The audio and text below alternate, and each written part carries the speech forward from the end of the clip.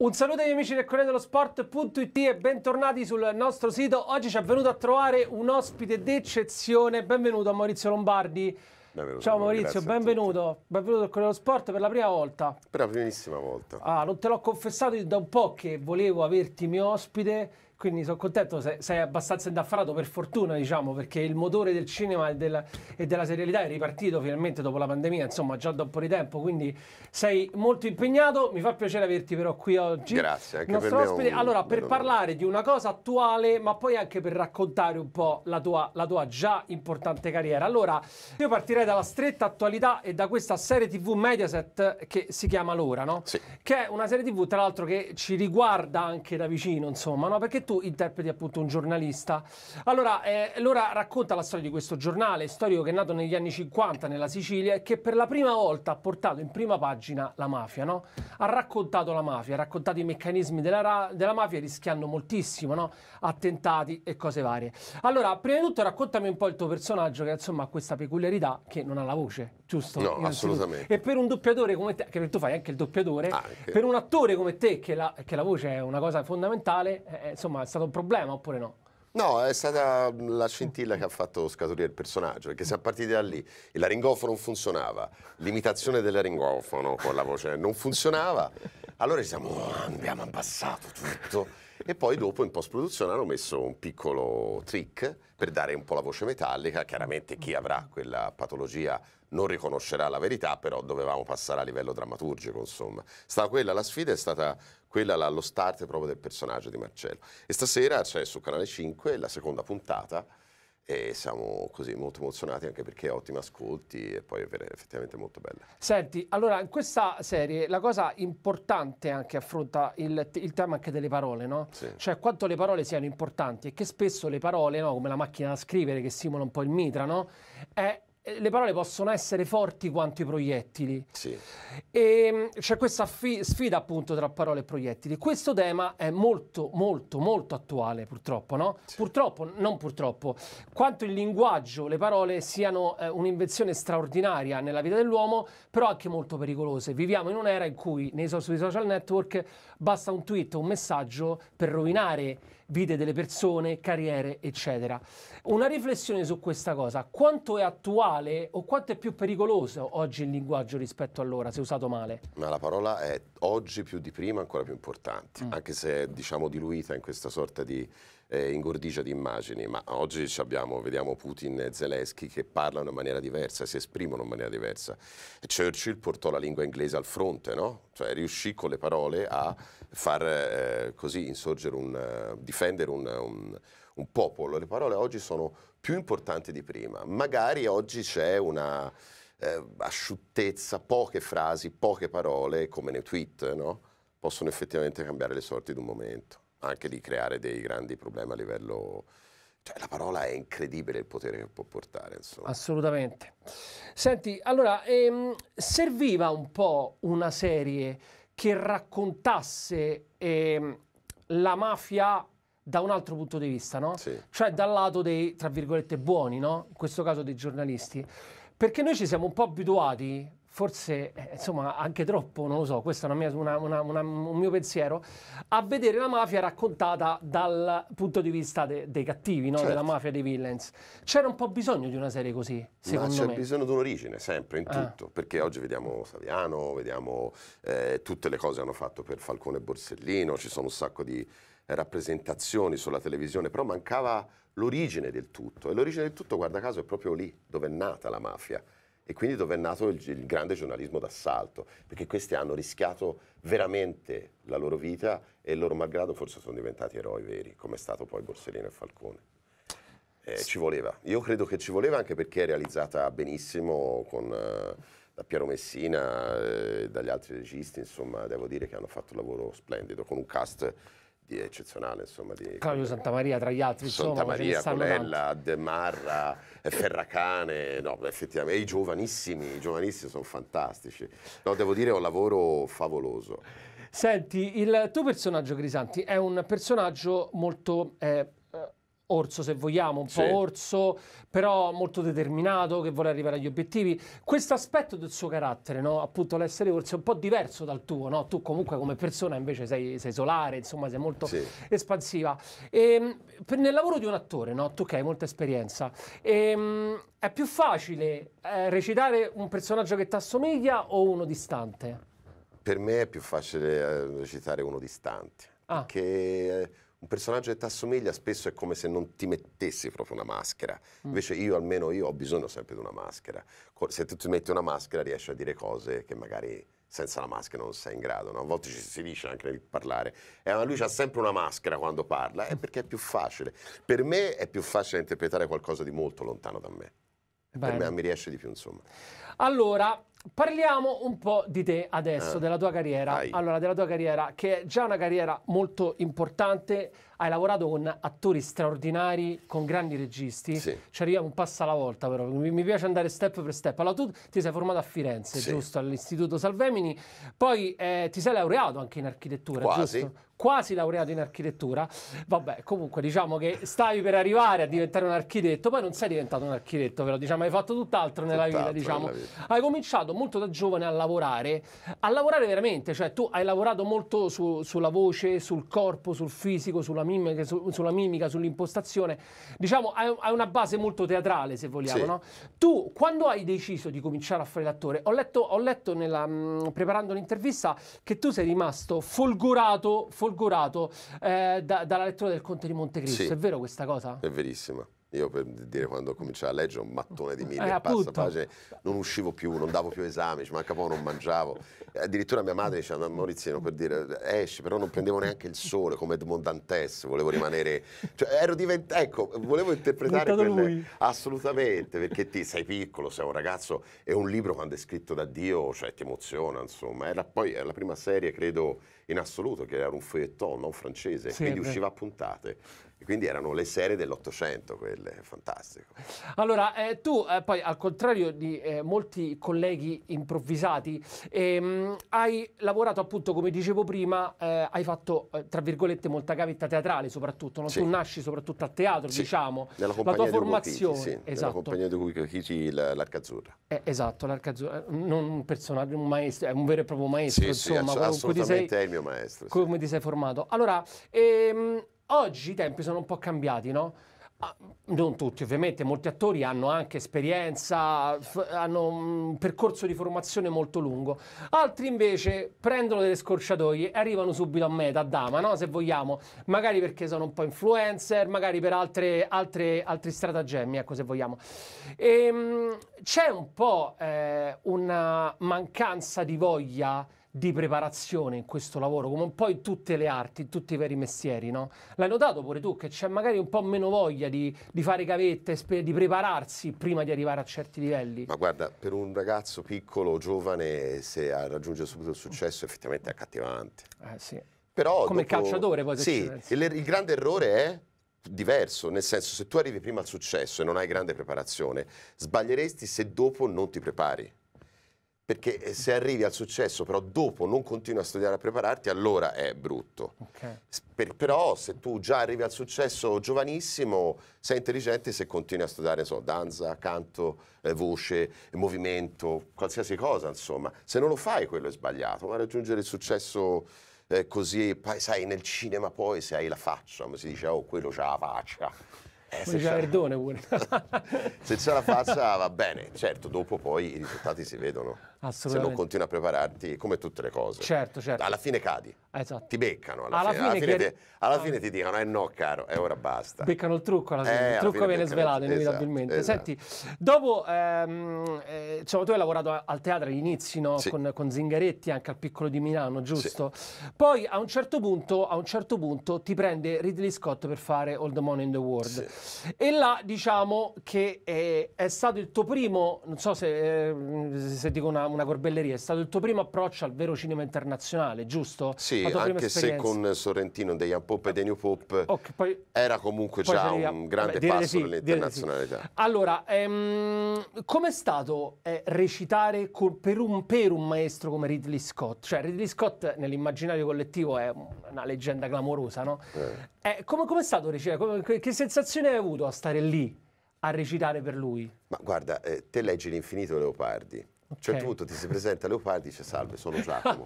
e allora gli stringi la mano alla persona che ha formato la tua poetica, no? Arriva Ridley Scott, te sei innamorato di Blade Runner, buongiorno maestro, e quello è scritto fa Blade Runner. Non ci devi pensare che se ci pensi è finito. Io ho visto cose che proprio sì. E ti dice pure mm, non mi piace come sei vestito, bisognerebbe, cioè capito, ed è lì che di... a un certo punto sliding doors, no? Non capisci, dice no. Capito com'è il discorso? Hai di fronte colui che ti ha formato, come insieme ad altri registi, insieme ad altri attori, cioè Becchi Dustin Hoffman, cavoli. Tu hai visto da piccoletto Kramer contro Kramer, poi gli stringi la mano, ma tu sei quello di... Il segreto è non pensarci, non, non devi pensare a quello. Però guarda, è una grande che... emozione, almeno io mi emoziono sempre. Eh beh, certo, perché l'emozione è la base della vita. Io mi, mi, stupisco, però è effettivamente molto bello, perché incontri la persona che ti ha regalato a distanza, inconsciamente, il tuo gusto, le tue preferenze a livello cinematografico, è molto bello. Allora, andiamo un po' avanti. Eh, la tua carriera, anche nella eh, serialità, la tua carriera televisiva italiana, no? eh, eh viene confermata insomma dalla trilogia 1992, 93, 94. Poi sei eh, personaggio fisso nel cast di The Young Pope e The New Pope, come dicevi prima, appunto di Paolo Sorrentino. Ed ecco qui che appunto fai l'incontro appunto con Sorrentino, che è un altro eh, attore non di poco conto nella, nella, nella, nel nostro cinema, nella storia del nostro cinema. Allora, quando tu poi cominci ad avere rapporti con questi registi, no? uh-huh. ti viene voglia pure a te di dire ma io più che attore voglio fare il regista, non c'hai mai avuto questa pulsione, sei sempre stato più dalla parte della, della regia, eh, scusa, del livello attoriale. No, per osmosi ti viene, mm. perché comunque, ad esempio, Paolo se lo incontri è terribilmente accattivante come personaggio, proprio nel suo insieme, sì. come fuma il sigaro, come ti guarda, quindi da attore tu vuoi fare regista, perché capito? Poi chiaramente regista rispetto ad altri mestieri e come direttore d'orchestra sono mestieri totalizzanti, no? hanno un grande potere i registi. Diceva Sidney Lumet sarebbe meglio non usarlo, il potere di un regista, perché è vastissimo. E per me che sono attore e che vivo di immagine di affascinazione, incontrare uno come Paolo chiaramente ti viene voglia di passare di là dalla, dall'altra parte della macchina. In teatro l'ho fatto, ho diretto un sacco sì, di cose. Sì, no, no, dicevo al cinema. Sia mia così. Al cinema bisogna vedere se sento il bisogno di raccontare una storia che altri non me la fanno raccontare e magari mi viene l'idea, perché no, insomma sicuramente potrebbe essere un'opzione. Allora, recentemente ti abbiamo anche visto nella serie appunto Monterossi con Fabrizio Ventioglio, ti abbiamo visto al cinema con Tapirulan, poi School of Mafia, Metti la nonna in frizza, insomma tu hai fatto tantissime cose, hai fatto già tantissime cose. Allora, e hai recitato appunto con, con, con tanti attori bravissimi, no? E anche attori internazionali, appunto John Lowe e, e Malkovich. Ti chiedo, eh, c'è ancora qualcuno con cui vorresti lavorare? Immagino di sì. Sì, no, è pieno. Ah. Ma che io ultimamente... Una ora... lista?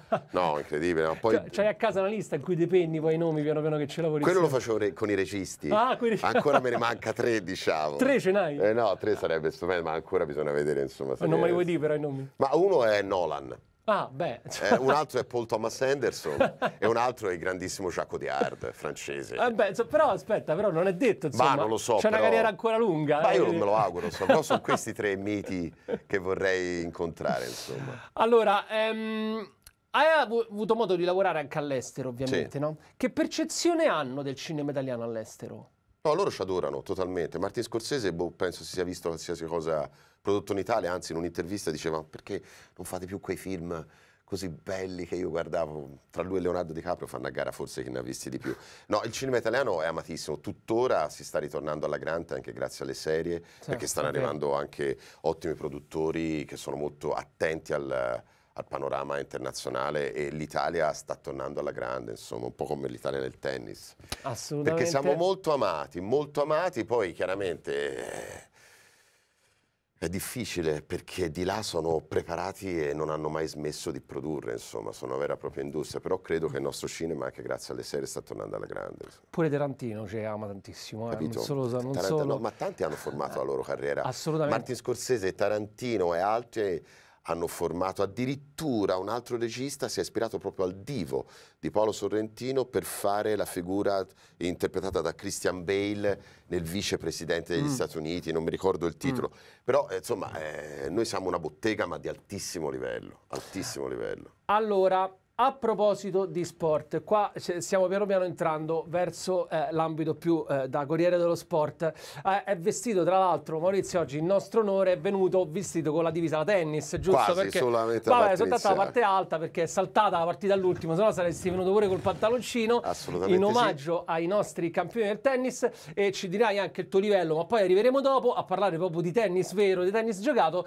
Allora, a proposito di sport, tu hai partecipato anche appunto al film Tiger in cui hai hai appunto indossato i panni di un dirigente dell'Inter, sì. no? nella, nella, drammatica storia appunto di Martin Benson. Allora, ehm, eh, tu col calcio, il tuo rapporto col calcio com'è? Per prima di parlare del tuo sport preferito che è un altro. Come, com'è? È, Ma il mio rapporto al calcio è un po' è vintage. È un po' vintage. Un po' vintage, nel senso che mi piacevano le grandi squadre, il gioco olandese, okay. mi piaceva la, la, la, il grande Milan, mi piaceva il grande Milan di Rijkaard, Gullit e Van Basten. Cioè, per me Van Basten è il più grande giocatore di tutti i tempi, per me. Poi eh, perché erano elegantissimi. Vedere anche Gullit con quell'esplosione di, di, treccine in mezzo all'area con cross di Rijkaard, ragazzi, ma si, poesia pura. Però io tifo viola mm. perché mio padre è un grande tifoso della Fiorentina. Pure sei di Firenze, quindi... Sì, insomma, però non forse è, quello è un po' meno. Perché vedo che mio padre soffre. Ah, soffre. E, e, vede, soffre proprio appena vede la Fiorentina è lì che addirittura non la guarda, sì, cioè è proprio un mondo che all'inizio lo criticavo. E poi giustamente dice, ma io ho quella stessa sofferenza quando parlo del cinema, del teatro, quindi l'ho, l'ho, capito e l'ho accettato. Perché lo sport non è solo il, il, l'evento, ma è tutto quello no, che ci gira intorno, no? le emozioni che suscita. È una delle le... più grandi drammaturgie eh, non scritte della vita di un uomo. Molto cinematografico. Mamma mia, è proprio un film, eh, beh, uno, è un film, vengono fuori film bellissimi. Allora, sì. a proposito eh, appunto di sogni e obiettivi, allora c'è una grande storia di sport che ti piacerebbe raccontare al cinema? Ma guarda, ultimamente è uscita una squadra di Procacci su Sky che devo dire una serie veramente favolosa, quasi una epifania per chi ama il tennis come me. Non ti dico che da quella serie lì potrebbe venire fuori uno, una splendida serie su quei Fabulous Four che erano Barazzutti, Zuccarelli, e la, Bertolucci e Panatta. La cioè, peschi a caso, ma interpreti chiunque. Ma sono quattro meravigliosi, a parte tennisti della Madonna ah, che hanno, sono stati precursori di cose che ancora cioè ce li invidiano. Ma poi effettivamente la storia che si perché in quella maniera lì racconti l'Italia, non tanto il tennis. Cioè quella storia è bella perché racconta l'Italia, la storia, ha raccontato Pinochet, ha raccontato il Cile di quegli anni, ha raccontato eh, il mondo, cioè, il tempo degli anni 70, il terrorismo. È una serie favolosa. Sì, effettivamente uno sportivo mi piacerebbe interpretarlo, perché lo sport drammaturgicamente è perfetto. Assolutamente. Cioè uno sceneggiatore ti direbbe che hai la sceneggiatura perfetta, l'inizio, il centro, la fine.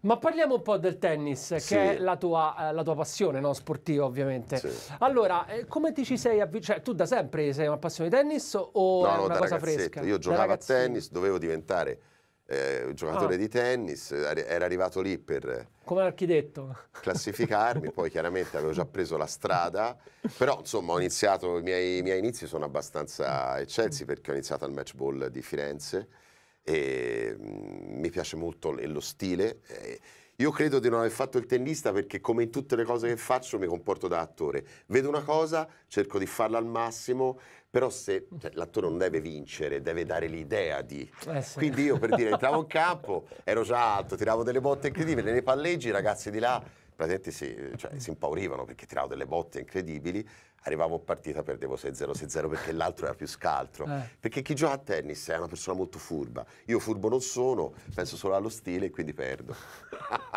Senti un po', ma eh, sai che adesso ci sta un po' questa, questa tra virgolette un po' antipatia no? tra mm. chi gioca a tennis e chi gioca a padel no? Mo il padel è la, è la, moda del momento giocano, parecchi giocano a padel e si dice che chi gioca a tennis non gioca a padel perché lo trova un po' tipo racchettoni ecco se vogliamo tu sei un po' di questa cosa oppure giochi pure a padel? Ci hai mai provato? Non, che cos'è il padel? Non lo so. Bene, ok.